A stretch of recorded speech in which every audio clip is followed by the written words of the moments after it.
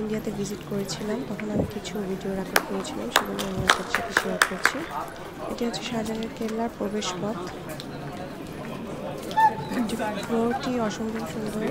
এই ফ্লোরটি এমনভাবে তৈরি করা হয়েছিল যেন ঘোড়াও প্রবেশ করতে পারে এবং ঘোড়া যখন প্রবেশ করতে স্লিপ না কাটে। আমরা শাহজাহানের কেল্লা অলরেডি প্রবেশ করে ফেলেছি।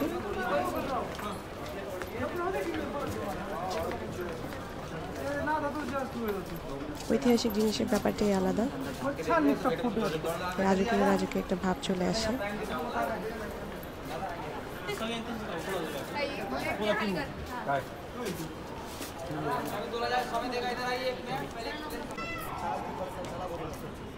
এটি হচ্ছে মমতাজের শপিংয়ের জায়গা। এখানে মিনা বাজার নামে একটি বাজার বসানো হতো, যেখানে মমতাজ তার সখীদের নিয়ে শপিং করতেন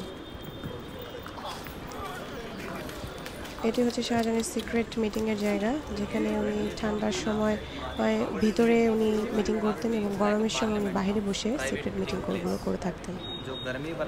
উনি হচ্ছে আমাদের গাইড যিনি আমাদেরকে স্ট্রিক ব্যাপারগুলো বুঝেছিলেন এটি হচ্ছে শাহজাহানের সিটিংয়ের জায়গা ছিল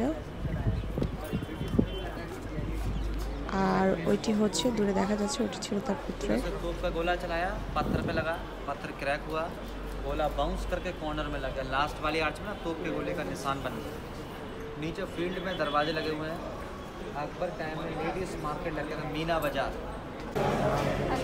এটি হচ্ছে মমতাজের বেডরুম অসম্ভব সুন্দর কারুকাজ করা বেডরুমটি নিচে উপরে দেয়ালে চারিদিকে মার্বেল পাথর দিয়ে কারুকার্য করে।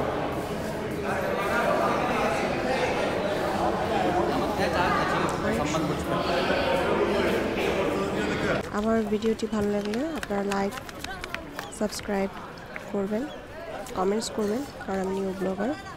দোয়া রাখবেন। আমরা এখন সাজানের কেল্লা থেকে বেরিয়ে যাচ্ছি। এটি হচ্ছে আউটিং ডোর আল্লাহ হাফেজ।